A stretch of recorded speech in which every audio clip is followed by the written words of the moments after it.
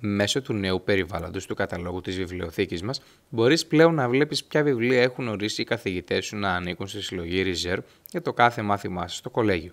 Για να δεις τα κρατημένα βιβλία, επιλέγεις την καρτέλα βιβλιογραφίες μαθημάτων που βρίσκεται δίπλα στην καρτέλα σύνθετη αναζήτηση.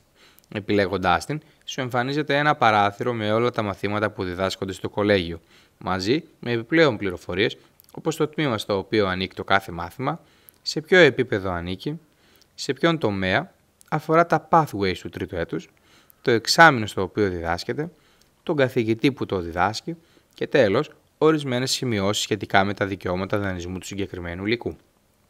Για να δεις ποια βιβλία είναι κρατημένα για κάθε συγκεκριμένο μάθημα, αρκεί να κάνεις κλικ πάνω σε αυτό που σε ενδιαφέρει.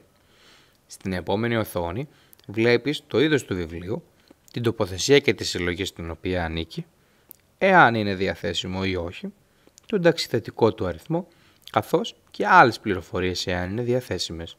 Μπορείς να κάνεις κλικ πάνω σε κάποιον τίτλο βιβλίου για να δεις περισσότερες λεπτομέρειες γύρω από αυτό. Σε επόμενα βίντεό μας θα μάθεις πώς να χρησιμοποιήσεις εξωματομικευμένο τον ηλεκτρονικό μας κατάλογο, πώς να κάνεις κράτηση σε βιβλία της βιβλιοθήκης και άλλες χρήσιμες πληροφορίες.